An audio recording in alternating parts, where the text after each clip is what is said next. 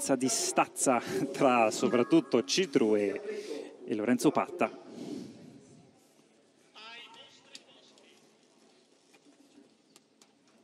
Qui Jacobs Tortu. Tensione alle stelle.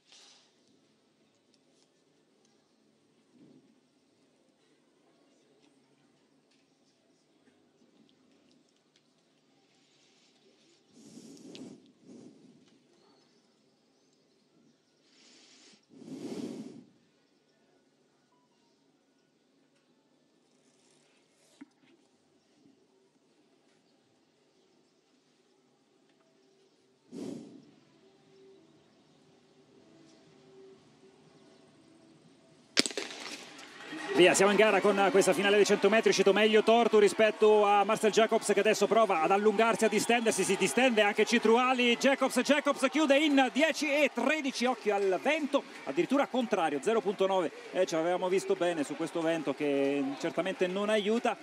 10 e 13, ma con questo vento direi bella prova da parte di Citru quest'oggi. Stefano intanto su, su Jacobs.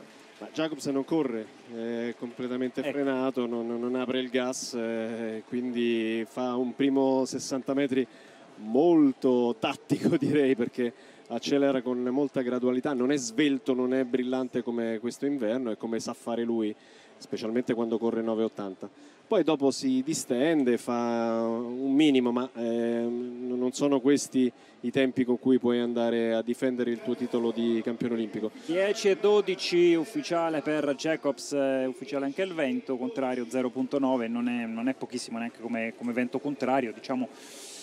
Uh, Beh, Stefano deve togliere un po' di ruggine, dai. Eh, sì, insomma, eh, solo lui lo sa quanto spinge. Secondo me non spinge perché è ancora molto prudente e un eh, piccolo fastidio adesso sarebbe out.